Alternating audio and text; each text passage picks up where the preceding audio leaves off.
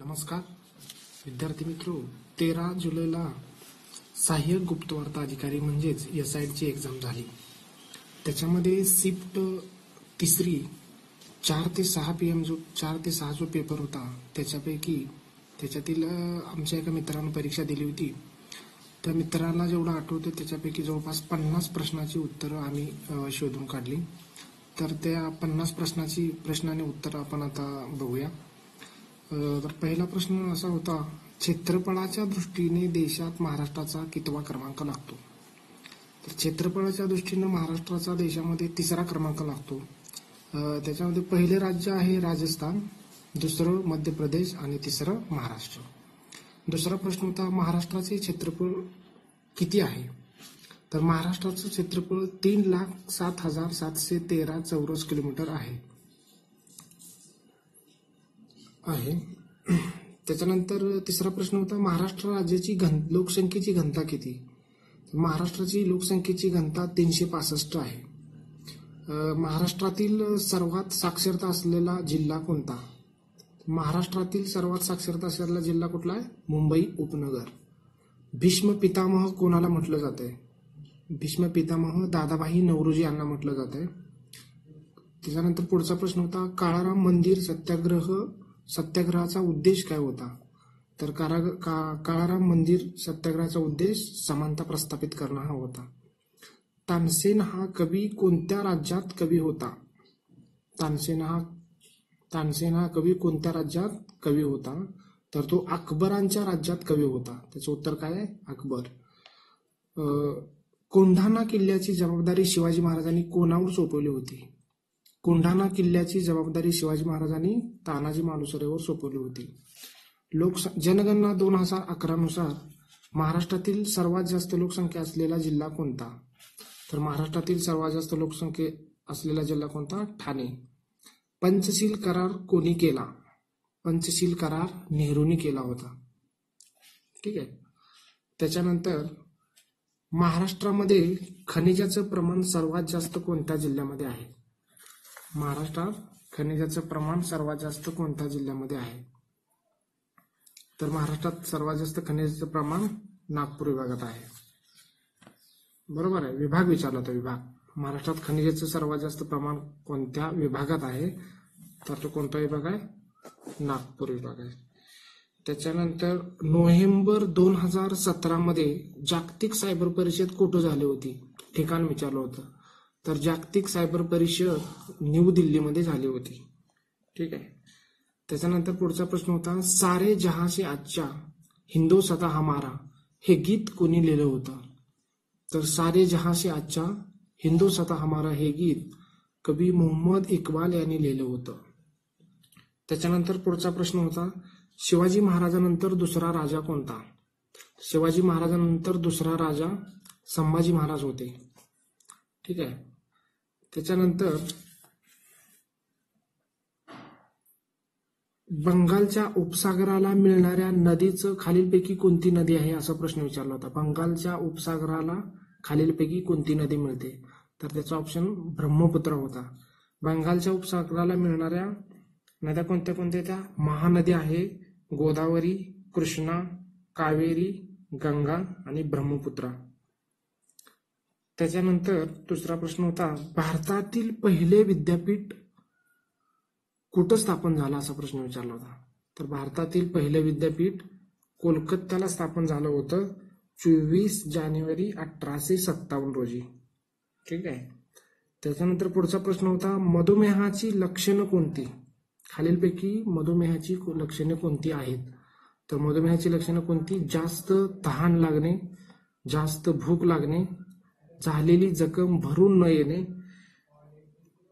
वजन घटणे लघवीला जास्त येणे. ठीक आहे?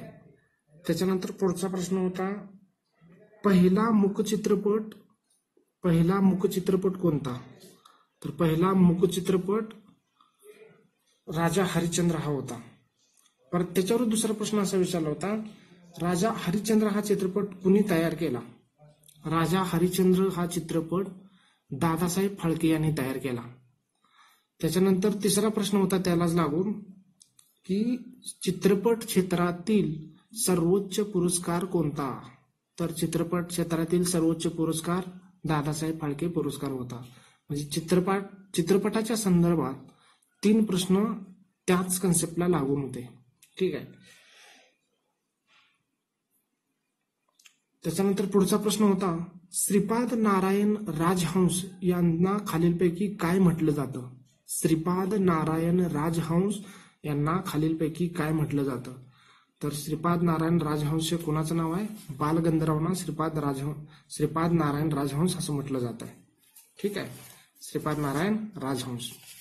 ओझोन वायूचा थर नष्ट कर होण्यासाठी कोणता वायू जबाबदार आहे असा प्रश्न विचारला होता.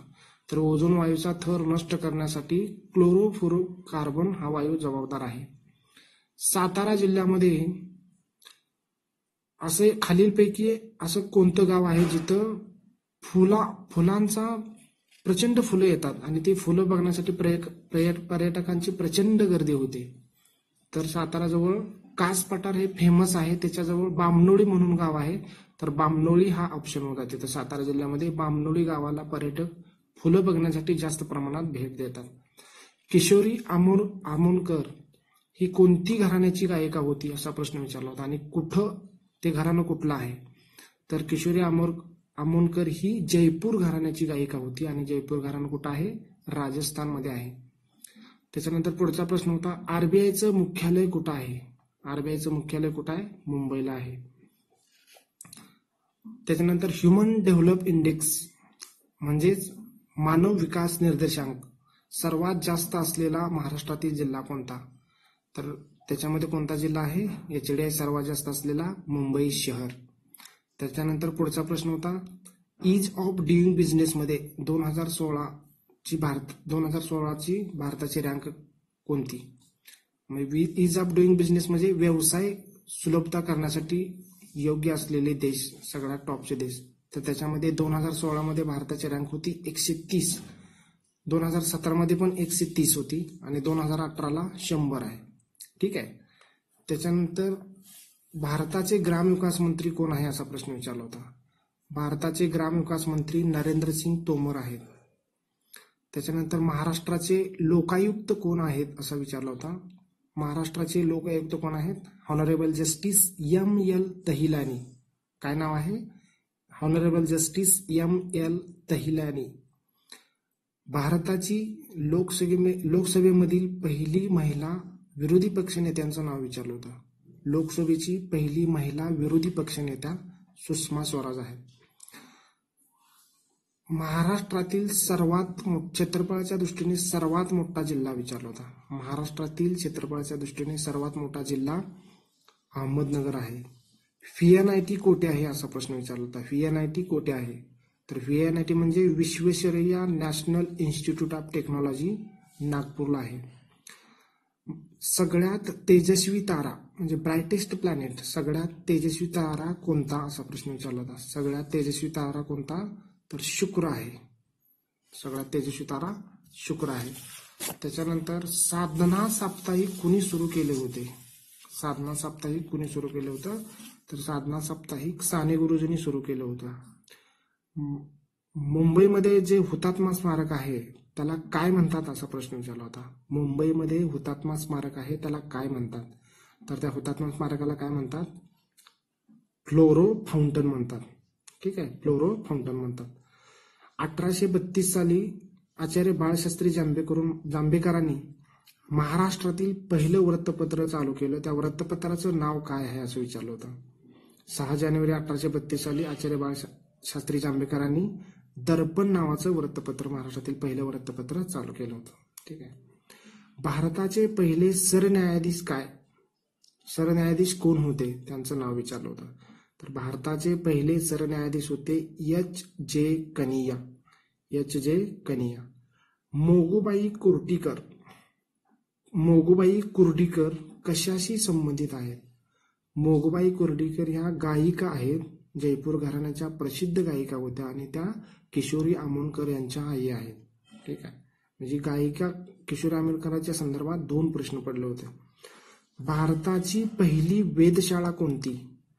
तिचं नाव काय आहे? खालीलपैकी असं विचारलं होतं. तर भारताची पहिली वेधशाळा आहे ॲस्ट्रोसॅट ठीक आहे. पहिले भारताचे पहिले लोकसभेचे सभापती कोण? लोकसभेचे पहिले सभापती कोण होते? तर गणेश वासुदेव मावळणकर हे होते. गणेश वासुदेव मावळणकर. ग वा मावळणकर. राजस्थानमध्ये पंचायत राज व्यवस्थेचं उद्घाटन कुणाच्या हस्ते झालं असा प्रश्न होता? राजस्थानमध्ये पंचायत राज व्यवस्थेचं उद्घाटन कुणाच्या हस्ते झालं? तर पंडित नेहरूंच्या हस्ते झालं. भारतामध्ये किती केंद्रशासित प्रदेश आहेत असा प्रश्न विचारला होता? तर भारतामध्ये सात केंद्रशासित प्रदेश आहेत. ठीक आहे. त्याच्यानंतर रक्त गोठण्यासाठी कोणतं जीवनसत्व उपयोगी आहे असा प्रश्न विचारला होता. रक्त गोठण्यासाठी कोणतं जीवनसत्व? तर के जीवनसत्व रक्त गोठण्यासाठी उपयोगी आहे. मराठीच्या बोलीभाषा खालीलपैकी मराठीच्या बोलीच्या भाषापैकी खालीलपैकी कोणती बोलीभाषा नाही असा प्रश्न विचारला होता. मराठीच्या बोलीभाषा नागपुरी आहे वराडे आहे कोकणी आहे सोलापुरी आहे अशा वेगवेगळ्या मराठीच्या बोलीभाषा त्याच्या संदर्भातला एक प्रश्न विचारला होता. त्याच्यानंतर संजय गांधी राष्ट्रीय उद्यान कुठं आहे असा प्रश्न विचारला होता. संजय गांधी राष्ट्रीय उद्यान कुठं आहे? बोरवेली मुंबईला आहे. ठीक आहे. त्याच्यानंतर त्याच्यानंतर उल्कापातामुळे तयार झालेलं महाराष्ट्रातील सरोवर कोणतं? तर उल्कापातामुळे महाराष्ट्रातील तयार झालेलं सरोवर कोणतं? तर लोणार सरोवर आहे. लोणार सरोवर. पहिली रेल्वे कोणत्या राज्यात सुरू झाली असा प्रश्न विचारला होता. पहिली रेल्वे कोणत्या राज्यात सुरू झाली? तर महाराष्ट्रामध्ये सुरू झाली. अठराशे त्रेपन्न साली मुंबई ते ठाणे. ठीक आहे. मन त्याच्यानंतर पुढचा प्रश्न होता मंत्री समिती कोणाला जबाबदार असते? तर मंत्री समिती लोकसभेला जबाबदार असते. तर मित्र हो असे एक हे जवळपास पन्नास प्रश्न हे पन्नास प्रश्न आणि उत्तरं याची आपण चर्चा केली. निश्चित तुम्हाला फायदा होईल. तुमचे प्रश्न हे सगळेच प्रश्न मेमरी बेस्ड आहेत.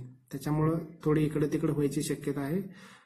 तुम्हाला जर हा व्हिडिओ आवडला असेल तर शेअर करा आणि आमच्या चॅनलला सबस्क्राईब करा. धन्यवाद.